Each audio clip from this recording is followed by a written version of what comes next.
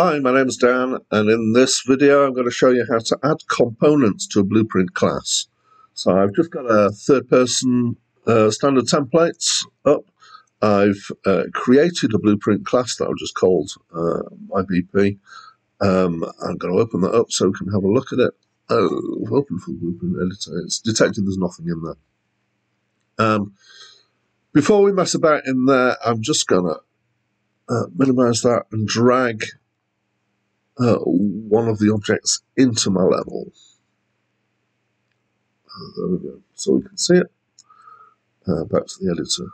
Now, uh, what we want is the viewport. This shows us what things that we've got inside our blueprint class. We can put all sorts of things and attach them uh, as part of the class. Um, this blob that we've got that we see here is what's called the default scene root, which is just a, a white ball um, and it's just so that if we don't have any uh, visible elements in our blueprint class, then we can see where it is in the level where it's been positioned. Um, and you can replace that. Uh, most people just leave that there.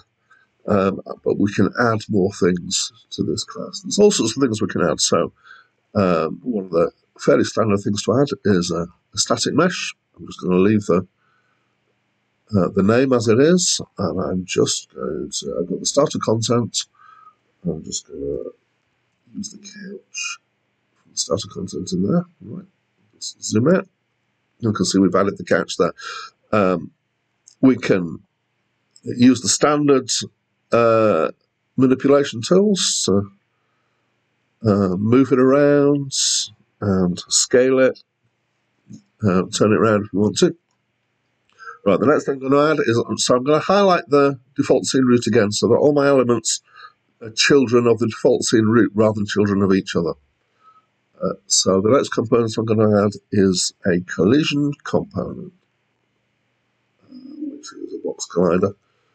Uh, and this, I'm going to scale up a bit, because what I want this to do is to be a, a box that will detect if the player comes close to this seat.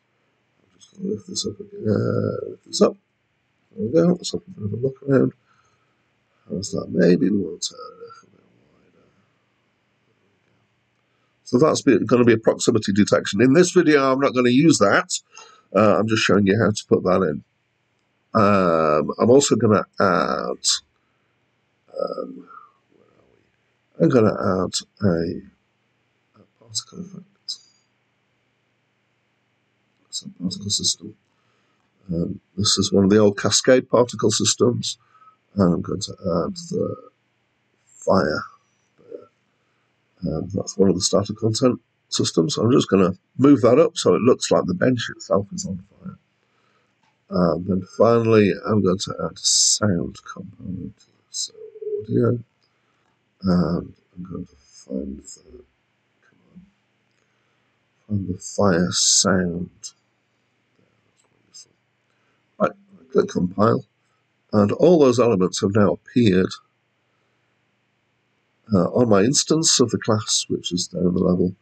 I'm just going to turn that around so it's facing the direction. And now that those elements are part of that uh, class, if I drag another one in, all the elements are there. we just click play and go into play. Yes, we can hear the sound.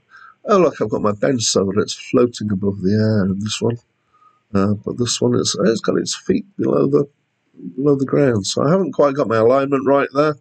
Um, but we've got the collision box, which doesn't actually do anything at the moment. So we've got the fire, we've got the, the bench, we've got the sound that we can hear from the fire. All of those elements are part of the blueprint class that I've created. Okay, that's it from me.